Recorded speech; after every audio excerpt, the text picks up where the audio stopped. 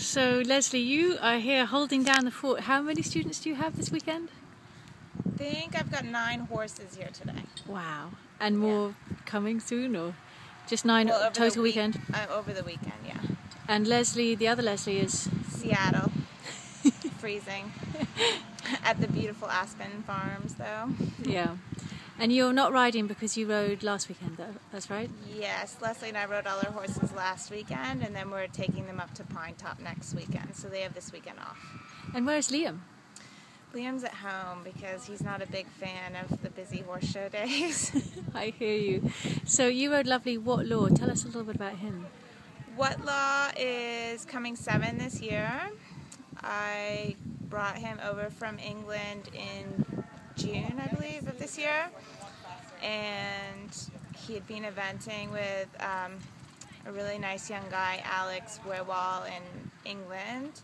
And um, had done a bunch of trainings and just started going prelim with him. And yeah, brought him over. He's by Mill Law. And with a name like What Law, we had to own him, didn't we? I thought you named him that. no, no, no. He's by Mill Law, so he had that name already. He's lovely.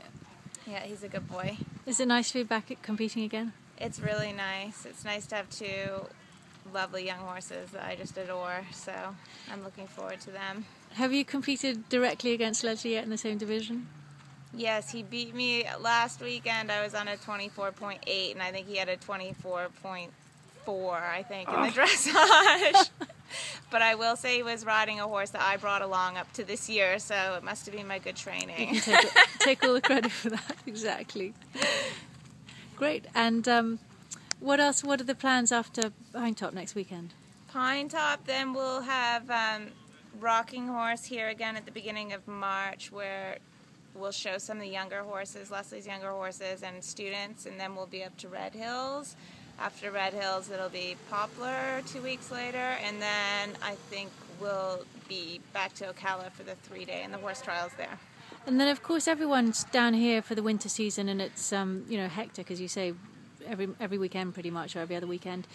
Do you take a break when everyone goes back up north and sort of take a deep breath and relax, or do you just keep going? Or Yeah, because right now we're working seven days a week, so it gets a little it gets a little stressful and a little onerous. But then, um, as soon as people start to leave in April after the three days, then I'm gonna make sure we go to Siesta Key for four or five days. oh, that sounds heavenly. And do you have plans to go back to England?